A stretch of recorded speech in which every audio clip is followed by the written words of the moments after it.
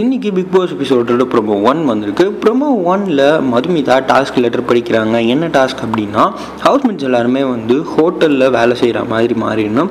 And அதே மாதிரி ஒரு கெஸ்ட் வருவாங்க. ஸோ அவங்கள வந்து எப்படி வெல்கம் பண்ணுறாங்க அப்படின்றது டாஸ்க்காக இருந்துச்சு.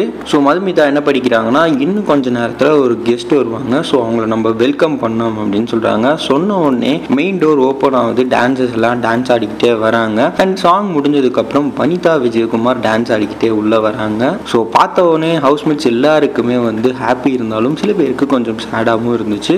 அதுக்கப்புறம் சேரன் சார் வனிதா விஜயகுமாருக்கு மாலை போட்டு கூப்பிட்டாங்க. மதுமிதாவை தள்ளி விட்டு அப்புறம் அவங்களும் போய் டான்ஸ் ஆடிட்டு ரெண்டு ரெண்டு பேர் வந்தாங்க. அதோட ப்ரொமோ முடியுது. ஸோ நீங்கள் என்ன நினைக்கிறீங்க?